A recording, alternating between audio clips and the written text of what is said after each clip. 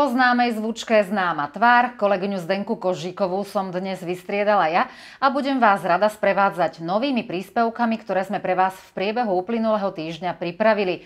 V úvode len krátko, aby som vás navnadila, nech ostanete s nami najbližšiu hodinku. Dnes bude reč napríklad o jednom modernom stroji, ktorých veru v Starej Pazove nie je veľa a toto spomínané 3D zariadenie je v základnej škole hrdinu Janka Čmelíka. Porozprávame sa aj s Alexandrom Bakom o divadle.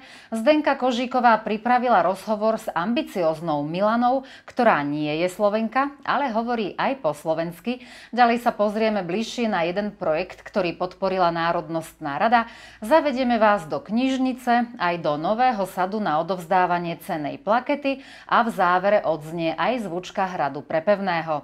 My sme pripravení, pripravte sa aj vy. Kreslo, kávička, začíname. Keby Matica Slovenská v Srbsku mala spísať zoznam svojich aktivít alebo činností, bol by to veľmi, veľmi dlhý zoznam. Nedávno sa na tento zoznam zapísala aj ďalšia udalosť. V spolupráci so Slovenskou agentúrou pre rozvojovú pomoc zabezpečili 8 3D tlačiarní v celkovej hodnote 10 tisíc eur, ktoré sú určené pre školy vo Vojvodine. Riaditeľom škôl donácie predal veľvyslanec Slovenskej republiky v Srbsku, jeho eminencia Fedor Rosocha. My sme sa s kamerou vybrali pozrieť si bližšie jednu takú modernú mašinku. V rámci jedného projektu sa 3D tlačiaren dostala aj do základnej školy hrdinu Janka Čmelíka, kde sa hneď spustila do prevádzky. Ďakujeme Matici Slovenskej v Srbsku, že na Starú Pazu nezabudla, ale vlastne v prvom rade ďakujeme vôbec, že sa zúčastňuje, ale to už robí 10 ročiami, že na uh, tento spôsob projektami pomáha Slovákom žijúcich tu vo Vojvodine. Uh, Matica Slovenska písala projekt na E, E, e, međunarod, slovensku međunarodnu agenturu, pre slovensku međunarodnu pomoć, znači čiz spolupracu, e, za koju ktorej su schvaljene penjažne prostrijetki, a za ktore je kupenih zdasami 8 3D, 3D tlačijarnji, ktore su rozdeljene školama.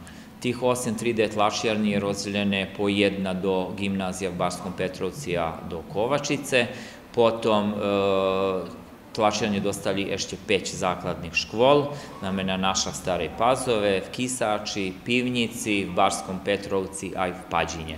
A i osma tlačijarenja ostala v Matici Slovenske i Srpsku v ústrednji v Barskom Petrovci. A najnovšie informacije mám, že e, su ešte povoljene nejaké prostrijedky suvise s istim projektom, že sa ešte nejaké tlačijarnje kupija do dvoch gimnaziji v Petrovci i Kovačici, ali to je ešte taká možda neúplna informacija, ali verime a dúfame, že e, sa uskutoční. 3D tlačiaren to nie je taká bežná vec, ktorú si môžeme každý deň kúpiť v obchode. Vy osobne, ako ste ten prvý dojem, ako ste zareagovali a vedeli ste si hneď predstaviť, čo s ňou budete robiť? Normálne, že sme vedeli uh, hneď, ako ju využijeme v našej základnej škole. Uh, či je to vec, ktorá sa môže uh, zabezpečiť veľmi ľahko, to je teraz také otázne, možno ešte nie taká bežná vec. Pred 4 rokmi to ešte bolo nevýhodnejšie, keď sme ju e, prvýkrát mohli vidieť na veľtrhu hospodárstva v Novej Pazove alebo v Belehrade na podobných veľtrhoch, keď stálo o mnoho viacej, ale keďže e, ceny, hodnoty všetkých tých technických vecí a medzi nimi aj prístrojov a medzi nimi aj tejto 3D eh, tlačiarni klesajú. Verím, že o niekoľko rokov bude to veľmi bežná vec, že si aj školy, aj domácnosti ju budú môcť zabezpečiť. Čo sa týka samého využitia, e, túto tlačiarne nám, ako som povedal už, e, ďakujú z Matice Slovenskej v Srbsku, sme ju dostali. Ona je, e, v prvom rade bola ideja, aby sa súvise s aktuálnou situáciou v celom svete, pandémia COVID-19, aby sa využila na tlačenie ochranných vizírov. Sme presvedčení, že žiaci budú veľmi radi, keď túto tlačiareň budú môcť na hodinách techniky aj technológií, na hodinách informatiky využívať, keď budú môcť najprv v nejakých programoch vytvárať nejaké objekty, ktoré potom budú môcť na tento spôsob spredmetniť pomocou tejto 3D tlačiarne. 3D tlačiareň zaujala aj profesora techniky a technológie, ktorý má k novým moderným prístrojom a zariadeniam blízko. Videl som 3D printer aj pre 3 roky, kedy sme boli na veľtrhu IKT technológie v Belehrade, kde nám ukazovali, ako sa tieto printery môžu používať aj v riadnej výuky, ale to bolo pre 3 roky, aj 3 roky potom sa o tom ani nerozprávalo, ani sme nehľadili, lebo sme vedeli, že cena takých printerov nebola až taká nízka. E, správca volal piatok povedal, že stihol jeden printer, aj že máme začať za 2-3 dní s ním e, pracovať. Takže to bolo prvé prekvapenie, ako čo urobiť. 2-3 dní sme po internete hľadili, e, rozpitovali sa, či môžeme nájsť nejakú pomoc. Aj od pondelku sme počali printať, tu sa vidia tieto vizíry, ktoré boli prvá práca, ktorá sa mala urobiť, lebo je plánovano, aby sa robili tieto pomocky za ochranu, za deti, ktoré možno nemôžu nosiť rúška, majú veľké zdravotné problémy, aj za nich by toto bolo užitočné. Ak je táto epidémia s koronou aj všetko toto prejde, navzdáme sa, že v riadne výuky deti budú môcť to používať, lebo to je jedna motivácia za žiaka, že by troška viac rozmýšľal aj o techniky, aj o informatiky, o programách, ktoré sa používajú, lebo deti dneska žijú s telefónom, žijú s počítačom, nemôžu sa zamyslieť e, život bez toho, aby na ráno, keď stanú, nepozreli telku, počítač, laptop alebo čo, čo je viazané s počítačom. A toto je, tak povieme, vec, kde môžu pokiazať aj svoje schopnosti a môže im byť aj zaujímavo, kako šestko to pracujem. Čo se tika eh, žijakov, mislim, že im to ka bude zaujímava vec, lebo e, doteraz sme informatickog kabineća, a vjazano za informatiku i tehniku, robili nekoliko programov z informatiki, to bol e, Word, e, Excel, elektronická pošta. S tehniki sme robili Google SketchUp, ker je im veľmi ľahký za zísť do programu aj počať, začať používať. Takže myslím, že keď budú vidieť, keď sa možnosti tejto mašine, že prichytia aj program za modeling, aj že sa budú snažiť, aby vypracovali niečo, čo budú môcť vytlačiť. Lebo to nemôžete urobiť na veľký iný spôsob, ale len na tento Aj navzdám sa, že to bude naozaj zaujímavé a budeme vidieť za mesiac, dva, tri, možno byť už budeme mať prvé výsledky ich práce, pa sa potom môžeme znovu vidieť aj pokázať, čo sme s deťmi urobili. Vďaka Matici Slovenskej v Srbsku a Slovenskej agentúre pre rozvojovú pomoc Slovagate majú teraz dve gymnázia a 5 základných škôl vo Vojvodine najmodernejšiu tlačiareň, ktorá spestria skvalitní vyučovanie našim žiakom.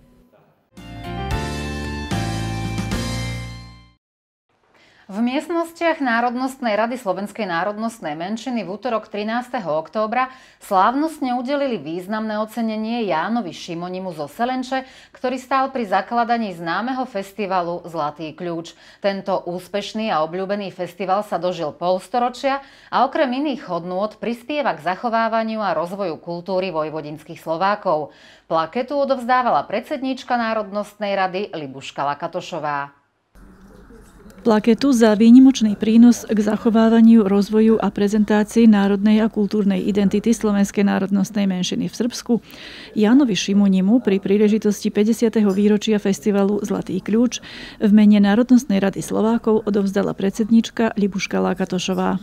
Je mi nesmiernou cťou, že v mene Národnostnej rady Slovenskej národnostnej menšiny môžem udeliť takéto symbolické gesto pánovi Jánovi Šimonimu, ktorý stál pri zrode festivalu Zlatý kľúč.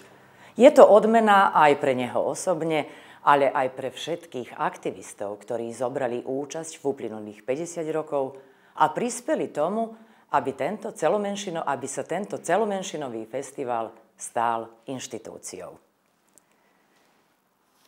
Vážený pán Šimoni, Národnostná rada udeluje plaketu Národnostnej rady Slovenskej národnostnej menšiny za výnimočný prínos k zachovaniu, rozvoju a prezentácii národnej a kultúrnej identity slovenskej národnostnej menšiny v Srbsku k 50. výročiu festivalu Zlatý kľúč. Nech sa páči a blahoželám. Ďakujem.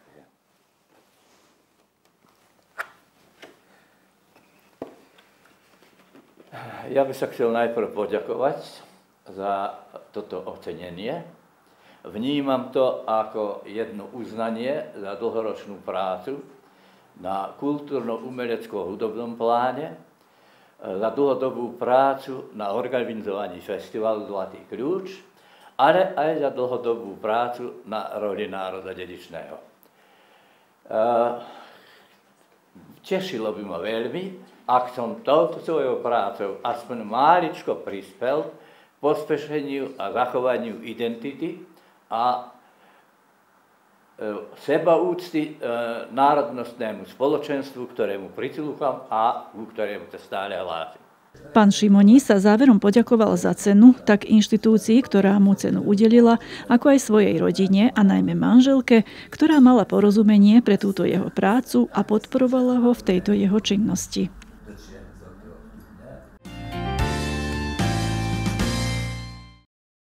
Tento rozhovor o divadle som plánovala nahrávať pred divadlom, ale počasie nás vyhnalo do štúdia a tak som tu k nám do štúdia pozvala herca a režisera Alexandra Baka. Vitaj. Ďakujem. Ďakujem, že si si našiel čas, že si prišiel. Ja som v sobotu 10. oktobra bola v divadle na výbornom predstavení Všetko o ženách, ktoré si ty režiroval. Uh, ale boli tam len tri herečky, ktoré menili veľa postav. Mohol by si mi tak shrnúť, e, aká bola hlavná myšlienka toho predstavenia a ako sa vám to predstavenie nahrávalo, cvičilo, aká to bola spolupráca?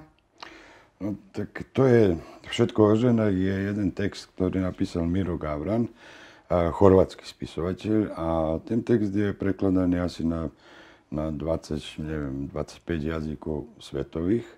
A hraný je dosť vo svete, aj vlastne aj našich profesionálnych divadlách, aj, aj chorvátskych predovšetkým, ale mne sa ten text zapáčil, ale začali sme robiť vlastne tú predlohu len preto, že sme trošku mali problém s hereckou ekipou, tak sme hľadali niečo menšie, s menším obsadením a prišiel som do toho textu, kontaktoval som autora, s ním sme sa všetko dohodli ako okolo toho, aby, sme, aby nám dal súhlas, aby sme to, aby sme to mohli e, e, postaviť na dosky a vlastne išli sme na to. To je, premiéra bola niekde v Lani e, nejakom marci mesiaci, tak a vlastne s tým predstavením sme obišli dosť osa, toto bolo už ani si nepamätám, ale nejaká 18. repríza alebo tak.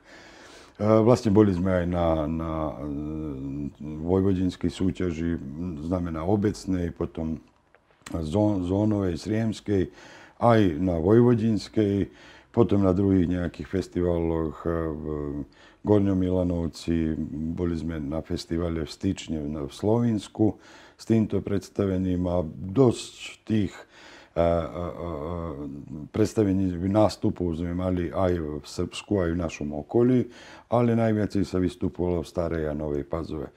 Vlastne posledné predstavenie pred koronu bolo práve toto predstavenie 6. marca sme hrali voči Dňu žien, ako poviem, ako jeden darček k ženám. A potom, keď sa už všetko uzatvorilo, vlastne teraz sme zase prvý otvorili aj to s predstavením najprv v piatok 9. oktobra, aby sme sa poďakovali zdravotným robotníkom, tak sme piatok mali ako predstavenie pre zdravotných robotníkov, ako zdarma, ako náš e, dar e, všetkým a potom toho 10. vlastne bolo také otvorené pre obecenstvo. A ktoré tri herečky sa tam striedali na javisku a aká bola teda hlavná myšlienka, keďže tam tie tri herečky všelijaké roly na seba preberali? No. Vlastne e, so mnou spolupracujú Diana Vlajinič, potom Bojana Uroševič a Ivana Grbič, Gašič. A tri herečky, s ktorými vlastne spolupracujem už nejaký period, vlastne s Dianou A toto je už tretie predstavenie, z Ivanov druhé a z Bojanov prvé. Takže vlastne ani nemajú veľa skúseností, keď poviem takého hereckého, hereckého, hereckej skúsenosti. Ale prepáč, ale... musím podotknúť, že predstavenie bolo dynamické a ani chvíľu som sa nenudila. Práve to chcem aj povedať. Nemajú skúsenosti, ale myslím, že sa do, tohto, do tejto predlohy a vážne pustili a vlastne podarilo sa aj mne spolu s nimi vytiahnuť to naj, najlepšie z, z ich voľakej, z toho hereckého potenciálu, ktorý majú. Vlastne text je trošku, poviem, taký zaujímavý, lebo tam vlastne máme 5 rozprávok, 5, e, e, bukvalne 5 situácií alebo 5 životných príbehov. Sú tam e, sekretárky v jednej firme, sú tam e, babičky, ktoré už sú ako na, na dôchodku a nejakom domu pre starých. Sú a tam, práve tie urobili najviac humoru na javisku? Sú tam deti ako z predškolskej ustanovizny. Sú tam, je tam jedna rodina ako mama s dvomi dcerami. Aj, a už ktorá piata už teraz, e, a kamarátky vlastne. E, tri kamarátky, vlastne najprv dve a potom tri, ktoré sú, poviem, trošku aj také na rozmýšľanie, či sú aj partnerky, alebo sú len kamarátky o tom, o tom, ako sa vlastne nevyjadrujeme, ale sa môže tam... To je na každom divákovi, nech si urobí tak. ten svoj záver. Takže uh, myslím, že pre nich to bol, uh, aj pre mňa najmä bol uh, ťažká, ťažká úloha pred nami bola, aby sme to všetko postavili. Ja som to na voľaký spôsob vymyslel, aby to vlastne aj scenograficky upravil, aby všetko sa stávalo na samom javisku, aby sa vlastne aj, aj oni a, a, vlastne aj prevyzliekali, aj vlastne aby nevychádzali. Keď raz vyjdu pred obecenstvo, vlastne dokonca sú na samom javisku a popri tom mienejú mnohokrát, na každú sekvencu mienejú charakter vlastne mienejú vlastne osobu, ktorú, ktorú stvárňujú. A myslím, že sa nám podarilo, lebo každá tá rozprávka je specifická, každá tá osoba je, znamená, že tri herečky, vlastne každá hrá 5 osôb, postav, postav. Takže dosť také náročné, ale myslím, že sme dostali tú jednu rozprávku, lebo Zase, keď poviem o žánre tohto predstavenia, nemôžem povedať, že je to ani komédia, ani tragédia, absolútne, ani nejaká dráma, ale vlastne je to taký myš-maš všetkého. Ako čo je aj napísané, ako sú tých 5 rozprávok, tých 5 situácií životných, tak, tak sú vlastne, striedajú sa city aj so slz, slzami, aj so smiechom, aj len s úsmevom, aj len s nejakou a, a, a, s nejakým rozmýšľaním, Áno, o, lebo myslím, že sa každý, každý sa môže tam nájsť. Aj keď je o ženách, ale myslím, že každý, aj muž, aj žena, ktorá, ktorá, ktorí pozerajú toto predstavenie, môžu si nájsť nejakú svoju situáciu, že mali, počuli alebo niekde, niekde zažili také niečo. Ja som na tom predstavení bola aj so synom, síce to nie je predstavenie pre deti, ale on má veľmi rád divadlo a bol rád, že po dlhej pauze, keď bola korona, že sa niečo hraje, tak chceli so mnou do divadla. A keď sa predstavenie skončilo a svetlá sa rozsvietili, tak jeho prvá reakcia bola, to bolo super. A potom cestou domov si spieval tú repliku Milané. A aj ma príjemne prekvapilo, že dosť veľa divákov prišlo.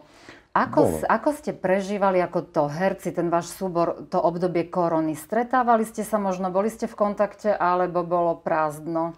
Ináč poviem tak, že predstavenie, ja myslím, že sme už šiestýkrát hrali v Starej Pazove. Konkrétne poviem, že vždy bola plná sieň. Mali sme to šťastie, že, že od 300 do 400 ľudí bývalo. Lebo práve to, že sa trošku aj, aj počulo po premiére, vlastne sa počulo o tom predstavení, tak dosť dosť e, ľudí malo voľu prísť a poviem úprimne aj tak, že niektorí aj po trikrát, štyrikrát sledovali toto predstavenie. A v podstate je isté od začiatku, ale my trošku znášame nejaké, nejaké momenty aj novšie. Teraz sme posledný krát mali aj rúška na niektorých scénach, takže na voľaký spôsob trošku to e, e, ešte robíme nad tým a, a na ten spôsob aj trošku, nie že modernizujeme, ale vlastne dáme ho v tej datej situácii, aby bolo bližšie obecenstvu. Tiež ma teší, že bolo dosť ľudí. V princípe tak, táto situácia, hovorím, posledné predstavenie na týchto doskách sa hralo 6. marca. Práve my sme hrali to predstavenie a teraz sme zase no koľko už mesiaci prešlo, tak teší ma, že predsa ľudia prišli. Istotne budú problémy aj do budúcna, že sa ľudia budú aj obávať, budú mať strach od všetkého tohto, čo sa nám stáva, ale, ale nazdám sa, že na voľaký spôsob to, to zvládneme, tú krízu. Nemali sme veľa, veľa stretnutí vlastne so ženami, ako s, týmto, s touto predlohou sme vôbec sa nestretávali, len teraz pred sám výstup e, tri skúšky mali sme mali, skúšku? áno, ale mali sme, e, my sme začali ešte e, niekde koncom minulého roku sme začali na novej predlohe a to je predstavenie Putujúce pozorište Šopalovič v, Novej Pazove vlastne s ekipou, s touto ženskou ekipou, ale rozšírenou, lebo tam je až 12 hercov. A s tým sme začali, prišli sme aj do, ha, poviem, aj polovicu predstavenia sme už e, zakončili, medzi tým potom začala e, táto epidémia, vlastne pandémia a sme s tým skončili. Potom sme sa voľako cez leto ešte raz, dvakrát stretli, keď boli už také uvoľnené tie, tie časy, ale princípe sme nepokračovali, lebo zase to pohlo a vlastne nevideli sme ani potrebu, aby sme to končili, keď sa ťažko sa dá hrať niekde, cestovať. A...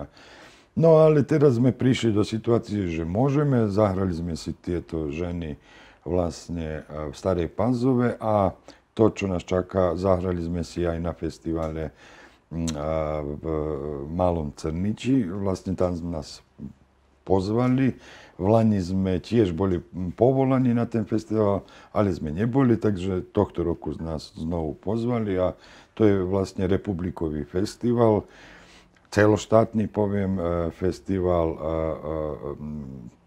To sa ako e, hovorí, že e, dedín, dedín, ktoré účinkujú v tom ochotníckom divadelníctve. Takže nás pozvali, no uvidíme, keď sa ukončí, či, lebo je závode súťažiaceho rázu, tak uvidíme, či nejaká diploma príde aj k nám do rúk. Tak ti veľmi pekne ďakujem za takéto rozprávanie a mám rada divadlo aj tie témy okolo, takže mi bolo veľmi príjemne s tebou stráviť tento krátky čas a želám vám do ďalšej práce veľa úspechov a verím, že sa stretneme ďakujem. v divadle aj na budúce. Ďakujem, ďakujem veľmi pekne. Nazdám sa, že ešte toto sa nepreruší, že budeme môcť ešte hrať divadlo, hosťovať, že sa asi táto choroba ukončí a že, že budeme môcť oveľa viac hrať a chodiť na viac miest. Tak. A potom o všetkých novinkách nás informuje, aby sme to my ďalej predali divákom. Tak. Je jeseň, dni sa skracujú a v súvise s tým, ako si prirodzene menej času trávime vonku. Dlhšie večery doma si môžeme spríjemniť nejakou peknou knihou a jedna zaujímavá novinka bola pred pár dňami predstavená v knižnici Dositeja Obradoviča v Starej Pazove. Dúfam, že ju budú mať v knižnici na vypožičanie, pretože ak si nájdem chvíľu voľného času, rada by som si ju prečítala. Témou knihy sú totiž staropazovčanky na bicykloch. Anna Bradaričová je jedna zo staropazovských žien, o ktorých sa píše v knihe Mysterium o pazovských bicyklistkách, lebo je bicykel jej hlavným dopravným prostriedkom a vďaka jemu sa aj zoznámila s novidárom Žeľkom Markovičom. Som prekvapená, že som sa tu dostala verovatno preto, že som v sukniach, že málo je to, že som posledná generácia, takže to bolo naozaj zaujímavé vidieť ženu v sukniach na bicykli. Tieto staršie už menej vozia aj tak. Počuli sme tu, že voľa kedy ženy vlastne nesmeli ani voziť bicykel. Vy ste kedy začali voziť? Pa ja som od malička, keď som sa, aj to som sa sama naučila. Neboli ako teraz malie bicykličky a čo ja viem, stajme veľká bicykel, aj to je to. Je to veľká mystéria jazdiť bicyk- bicyklovať? To je ako schopný, aj odvážny. Mala pekný dojem z premiéry publikácie. Vopred sa tešila na jej obsah a ešte nám prezradila, že ju na bicykli môžeme stretnúť každý deň. Stále mám záve, voľaké záväzky, aj myslím ísť do centra, si voľa čo kúpim, tu okoline nemáme e, nejaký obchod. Potom k lekárovi, na trh, odísť k priateľom, poznatým, k rodine aj tak. Jej fotka sa nachádza aj na zadnej strane obálky, kým je na titulnej Anna Havranová s bicyklom, ktorý má v košíku kyticu žltých kvetov a práve pre tento príbeh Žeľko Markovič dostal cenu Anny Nemogovej Kolárovej, ktorú stanovila Národnostná rada s výborom pre informovanie a udeluje sa za príspevok o slovenskej národnostnej menšine zverejnený v hoci ktorom jazyku okrem v slovenskom. Markovič ako novinár Novosadského dnevnika a mnohých iných rôznych redakcií po svojich reportážach pátral po celej bývalej Juhoslávii. Každý človek je mystérium sám pre seba a to je základ jeho reportérskej stratégie, ktorej sa venuje už takmer dve desaťročia. Sve te reportaže, pa i ove reportaže o Slovacima, nastale se tako što sam ih ja faktički e, zaustavljao na ulici ili već u drugom javnom prostoru i iz njih faktički u, u momentu izvlačio nešto što oni nisu ni prepoznavali u sebi. Tako sam dobio vrlo zanimljive priče Literárny večierok, na ktorom boli predstavené novinárske príbehy zo života sriemských Slovákov, konal sa v Staropazovskej knižnici po dlhšej prestávke.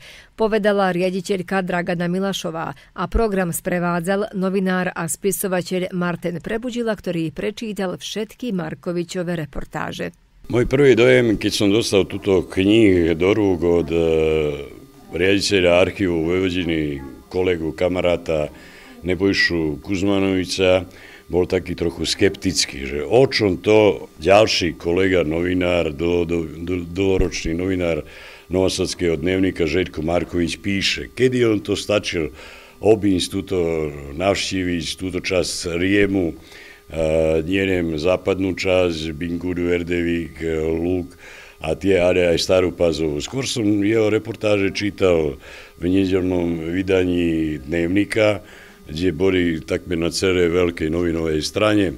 A keď som prišiel domov s touto knihou, tak úprimne sa priznám, dávno som nevenoval pozornosť od prvej po poslednú stranu ju prečítať v jednom dýchu.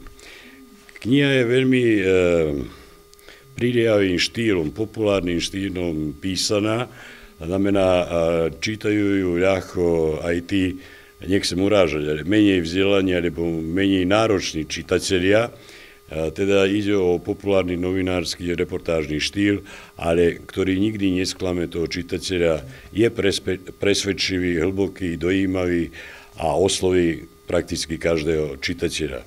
V každej reportáži je mikrokozmos, mikrosvet jedného obyčajného človeka spomedzi nás, ktorého Žeľko, povedal by som ako s lampášom, vie odhaliť, objaviť a načrieť do jeho duše. Rubrike Novosadského dnevníka bolo zverejnené ponad 100 zaujímavých príbehov. Tiež vyšlo tlačov 15 kníh so spoločným názvom Kontinent Sriem, v rámci ktorého aj táto kniha, ktorej je vydavateľom Archív Vojvodiny. Dobili smo zaista jedno jako lepo delo koje koje pomera granice i novinskih reportaža i prelazi u formu i u literature. Dakle, spaja i novinsku reportažu i dokumentarnu, dokumentarne zapise i literarna, literarna dela. To je nešto što nije baš često na našim prostorima i u tome, u tome je značaj. Recenzent knihy dr. Nebojša Kuzmanović povedal, že autor Željko Marković vo svojich reportážach ku každému jednotlivcovi pristupoval ako k výnimočnej bytosti a to má najväčšiu hodnotu. Pred čitateľmi je zaujímavá kniha, v ktorej sa zoznámia s obyčajnými ľuďmi zo svojho prostredia, ktorí sú predstavení ako stredisko sveta a zaslúžia si našu pozornosť.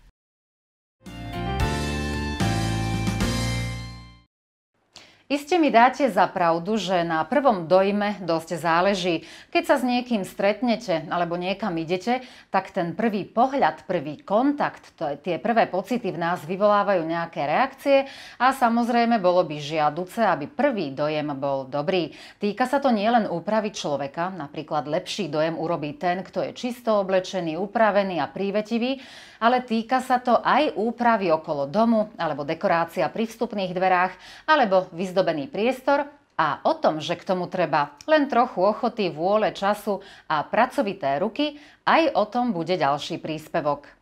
Národnostná rada Slovenskej národnostnej menšiny každú jeseň na svojich internetových stránkach zverejňuje výzvu na predkladanie projektov v oblasti informovania produkcie či školení s cieľom finančne podporiť tie najzaujímavejšie plány.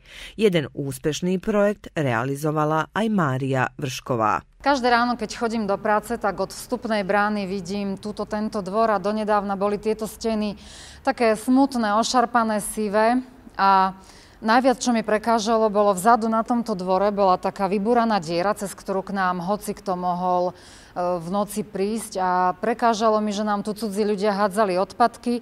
Mali sme tu nielen tašky so smeťami, ale dokonca aj vyhodenú vaňu alebo staré vankúše. A ja som si želala, mala som takú túžbu v sebe urobiť trochu niečo preto, aby ten dvor vyzeral krajšie a príjemnejšie, no ale na to sú potrebné peniaze, bolo treba aj nakúpiť materiál a zavolať majstra, ktorý by to spravil. A preto som zareagovala na výzvu, ktorú každú jese Národnostná rada zverejňuje na svojich stránkach. Napísala som projekt a požiadala som o dotáciu na úpravu alebo na zveľadenie tohto dvora a som veľmi vďačná, že mi tento projekt bol schválený. Kvôli koronavírusu sa termín projektu posúval a nakoniec sa zrealizoval začiatkom októbra. Dvor bol dosť zlom stave, ale najprv tento múr. Aj, e, tam nebolo, nebol, e, jeden diel bol prázdny, tak som musel domurovať tento, jednu časť múra. Potom som všetko okalil, nejaké diery, toto som zapchal. Aj túto stenu uh, som musel obiť maltu, aj položiť styrodur, aj mrežičku položiť, aj dvakrát lepilo, aj uh, okaliť ju. Išlo mi. Jeden ten deň som prišiel aj urobil som to, ten uh, náčrt uh, veľmi rýchlo a potom ešte nasledovný deň tento som ho dokončil. Takže nebolo nič tak strašne ťažko. Toto som prvýkrát e, zúčastnený v takom niečom. Aj páči sa mi, že, e, že jestvujú peniaze za, za také niečo. Keď ide o dobrú vec, nezištne sa pridá aj okolie a v tomto prípade ruku k dielu pridali mladí dobrovoľníci. Tata mi zakázal na mesiac počítač a samozrejme, že som sa doma nudil. A mama stále spomínala, že by chcela nejako tento dvor okrašliť, tak e, povedala, že nech prídeme s bratom do, do jej práci e, a my sme prišli. Najprv sme tú bránu ošmirgľovali a potom sme sa dohodovali, že ako ju ofarbíme, či sprejom, či štecom a farbou. A, pod, a nakoniec sme sa už skoro dohodli, že ofarbujeme sprejom ale som v tej v šo, šope našiel nejakú, nejaký, nejaké dva štetce a mama potom bola v obchode kúpiť farbu za 270 a sme potom maľovali farbou a štetcom. Najprv to išlo ťažšie, lebo sme museli dávať pozor, aby sme neobkvapkali betón, ale potom tá mama niekde spoza koša našla najlon a dala pod nami, aby sme nešpinili. A potom to už išlo tak ľahšie. Prácu sme tak mali hotovú za dve hodiny a potom za odmenu nás mama zobrala do foky na palacinky. S výsledkom bola spokojná nielen autorka, ktorá na tento projekt žiadala financie v rámci výzvy Národnostnej rady, ale s novým vzhľadom dvora sú spokojní mnohí ďalší. Som veľmi rada, že existuje taká inštitúcia, ako je Národnostná rada, ktorá sa stará o Slovákov a podporuje e, aktivity nielen skupín alebo organizácií, ale aj aktivity jednotlivcov. A keď si porovnám, ako tento múr vyzeral pred krátkým časom a ako vyzerá teraz po úprave, tak som presvedčená, presvedčená, že malo veľký zmysel venovať alebo dať tie financie, aj trochu času, práce a ochoty do tohto projektu, aby sa proste tento dvor zveľadil. A teraz, keď vchádzam do práce a vidím takýto múr, tak v duši pociťujem radosť a spokojnosť a myslím si, že ak bude krajšie počasie, takže si tu určite častejšie dáme kávičku a môžu sa tu robiť aj rozhovory, všelijaké zahlášky alebo ukľúčenia uživo. Národnostná rada Slovenskej národnostnej menšiny vypísala výzvy aj v tejto jesene a termín uzávierky je do 15. novembra.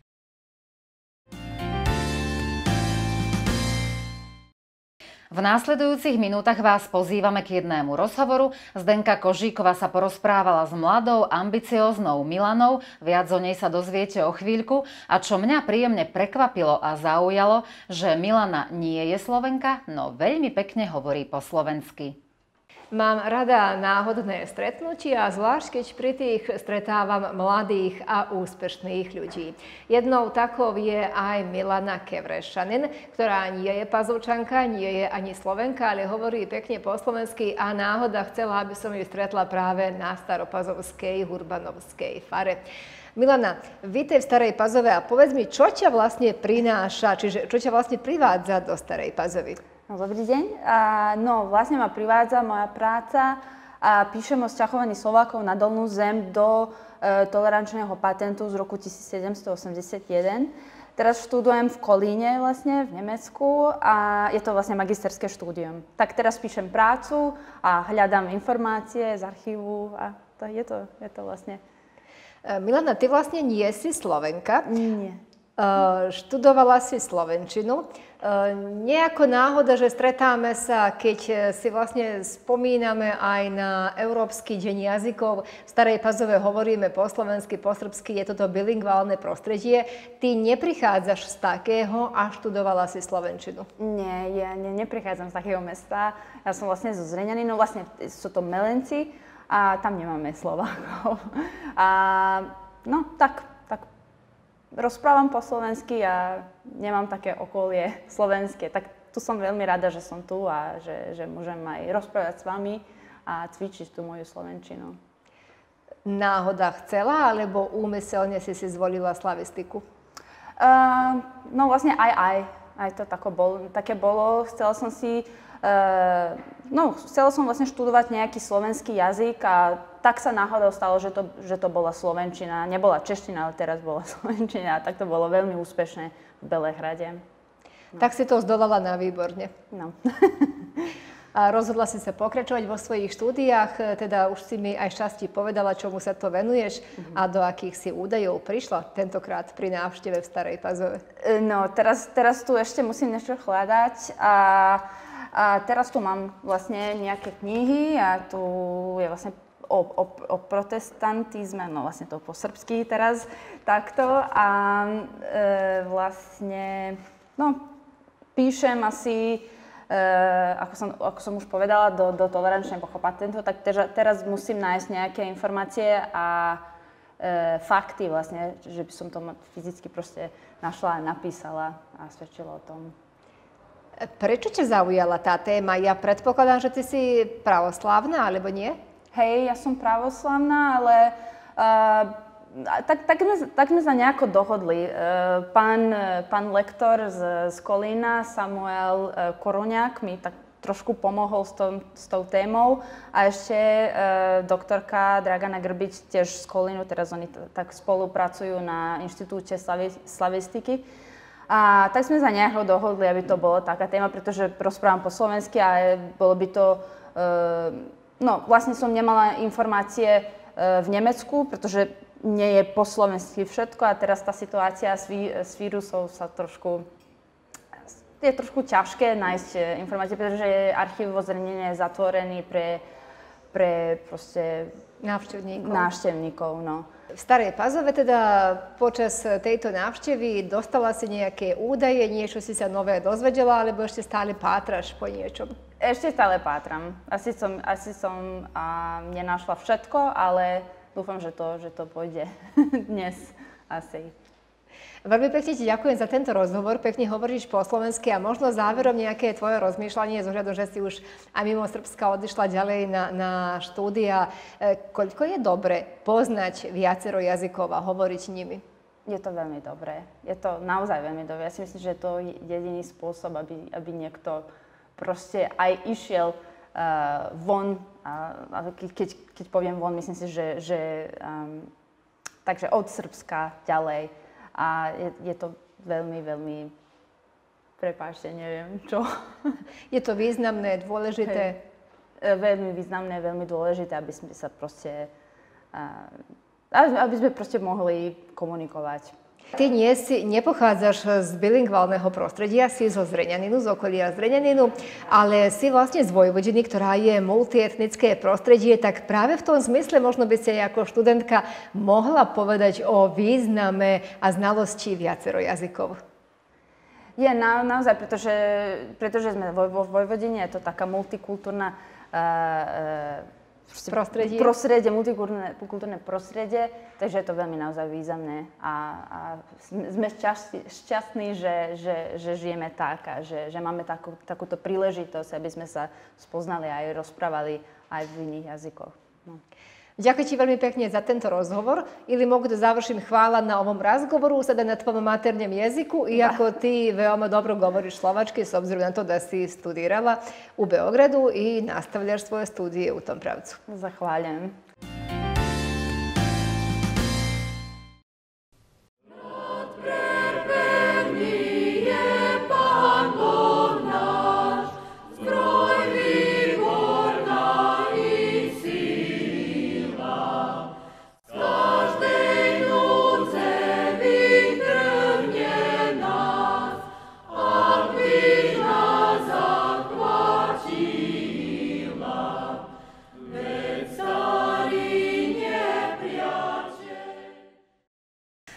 Jeseň aj tohto roku sme sa s kamerou vybrali na novú evangelickú faru do kancelárie pána pokladníka Pavla Malka, s ktorým sa budeme rozprávať o tých cirkevných veciach. Pán pokladník, porozprávajte nám od začiatku roka, čo všetko, aké aktivity ste mali, čo všetko ste prežili od, od januára až do teraz.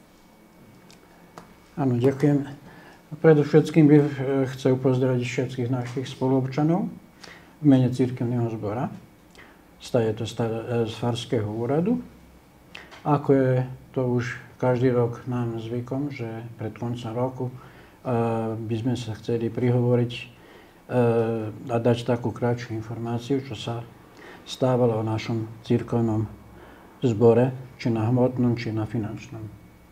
Sam začiatok roku, ako vieme, nezačal dobre. Stala sa nám tá pandémia, vírus, keď sme boli všetci eh, znemožnení fungovať, tak povedať, normálne. Boli sme zväčša v svojich domácnostiach. Fungovalo iba to, čo sa muselo obaviť pohreby. A príjmy sme voľaké nemali, iba členské, ale veľmi málo. A tento rok je zvláštny aj potom, že sme si zaznamenali 250 eh, rokov tento jubilej 250 rokov príchodu našich predkov na tieto priestory, kde sa môžem poďakovať obci za finančnú pomoc. A myslím, že sa nemôžeme zahambiť, ako tie oslavy prešli. Myslím, že boli úspešné a aj bezpečné predovšetkým. Aj bohatý program bol? Áno, bohatý program a tešíme sa najviac z toho, že to bolo bezpečné, že prešli že sa nikto nezrazil, čo povedali. Mm-hmm. Keď sa tá pandémia troška stíchla, začali sme pracovať na vykonávaní našich plánov. Plány sme mali také, ako každý rok si urobíme nejaký plán práce. Ak by to prečítal, môže byť? Nech sa páči. Áno. Mali sme plán dokončiť terasy na, na novej fári, e, schody, bechatom polož zariadiť. E, môže byť, e, spomeniem aj ten, kedy by, môže byť mal byť chod do súterénu, ak by sa nám to podarilo. Zariadiť vodu do súterénu, odvod, okaliť a oličiť farský byt. Na starej fare kompletná rekonštrukcia nás čaká.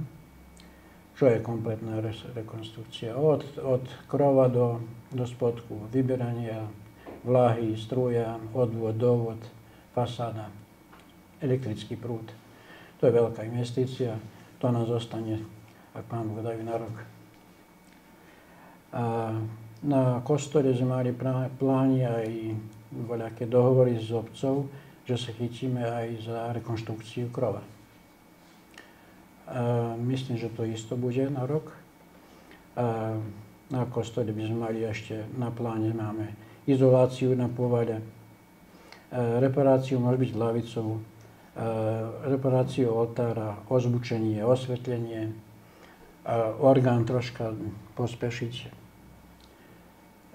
Je plánov dosť a z tých plánov, čo sme vykonali, ja by tak povedal, len toľko, koľko sme mali financiou. Áno, našich, aj čo sa kvôli korone mohlo urobiť, mohlo tak nám povedzte, čo sa realizovalo?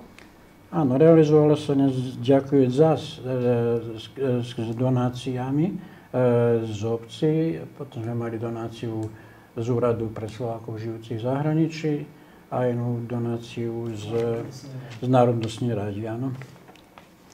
A, aj touto príležitosťou by sa chcel poďakovať im za donácie. Z tých peňazí sme čo odrobili? Urobili reparáciu terasov, ktorá nám premokala. Schody sme urobili, fasáda sa obnovila, oličenie byt pána Farára, aj církevne miestnosti. Boli tu aj drobnejšie práce, na starej fare nám tam troška precikalo, tam sme aj to robili chystáme kaplanský byt, aby sme ho e, zdokonalili, aby to bolo kompletné. Teraz už, až teraz máme majstra, ktorý robí na kuchyni. Tak. Takže práce je veľa, práce aj tých je, plánov je. Práce je a nazdáme sa, že, e, že keľko, keľko nám finančné prostriedky dovolia, toľko, toľko odrobíme. A tiež by bolo aj želaním, aby sa teraz v jeseni a v zime nevrátila vo veľkom tá korona, aby, aby sa aj konali služby Bože, aby sa mohli tie plány aj ďalej realizovať. Áno, áno. Čo sa týka finančnej takej situácie z roka na rok je všetko ťažšie. Prečo? Čoraz menej máme príjmu členského. Um, uh, tie príjmy, čo máme členského, sú stačia na bežné trojy čo sa bežne trojí. Platy, hriatia, elektrický prúd a, a nebyť týchto donácií, čo som vám napočítal, my by sme veľmi málo toho mohli odrobiť sami. Párové na každý rok počet je všetko menší, zvlášť tohto roku, skrze tejto situácii, aká je. Mladí odchádzajú na do zahraničia, dospelí, to tak, aj celé rodiny. Každý rok je ponad 100 pohrebov. Aj to musíme spomenúť. Je to naša realita a náš e, kostol je čoraz e, prázdnejší. E, východisko, ktoré ja osobne, aj myslím aj správa, aj s pánom Farárom rozprávame, že by bolo veľmi dobre, aby sme dali všetky úsilia aj síly, aby sme robili na, na reštitúcii to by nám bolo dobrá, dobrá, dobré východisko, aby sme nemysleli... A pardon, môžem sa opýtať, čo to konkrétne znamená? Reštitúcia už je veľa rokov sa robí na tom, žiaľ Bohu sa nám až veľa čo nedarí. Hľadáme, aby sa navrátilo tých 90 kožinkov zemi, čo nám štát odobral, tedy ešte 46 roku. Máme voľaké prekážky, voľaké papiere, ešte nemáme Takže uh, môžeme len prosiť Pána Boha pomôcť, aby, aby sme dokončili úspešne tú reštitúciu. Bolo by to za církevný zbor veľmi dobre. Takže tých ľudí v kostoloch je menej a asi ano. aj menej mladých ľudí. Ano. A máme pred sebou nejaké knihy, ano. párový denník. Ano. Môžete nám porozprávať aj o tom, koľko je párové, koľko sa platí tohto roku ano. a čo je tuto za hrubú knihu novú. Áno. Párové sa nič nemenilo, zostalo 1500 dinárov po osobe, 3000 po páre. Um, je menší počet ako minulý rok, kedy si doteraz zaplatili. A chcel by pozbudiť našich občanov, aby nečakali ten december, keď máme taký, tak poviem, stisk tutoka na, na, na pokladni. Naši pazovčania majú taký zvyk, aby prišli v decembri a potom si kúpia aj kalendáre. Aj, a myslím, že by bolo lepšie, aby si to prišli e, vymieriť aj tento mesiac, november mesiac, aj december, aby sa to troška rozporiedilo. Pracovné hodiny moje sa tu, pondelkom aj štvrtkom od 9. do 2. Máme tu pred sebou jednu knihu, ktorá je párový denník na nasledovných 10 rokov, lebo sme túto už vyplnili.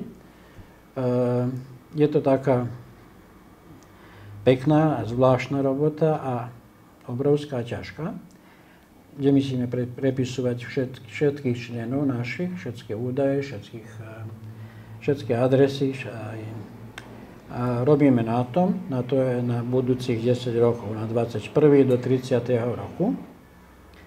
Usilujeme sa s, spolu so spolu sestrou Miknanou, aby to ostalo,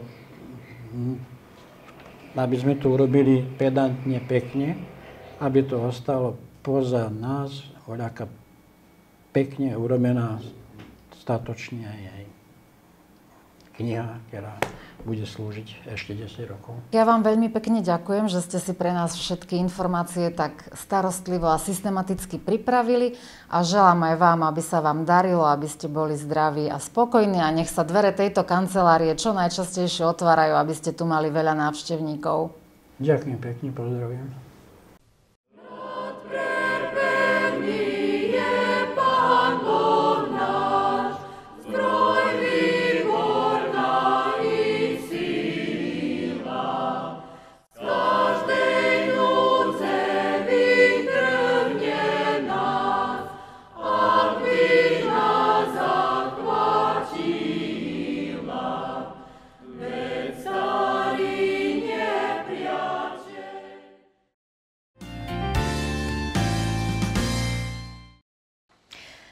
Diváci, čas pre naše vysielanie sa naplnil a v závere musím niečo prezradiť zo zákulisia našej redakcie.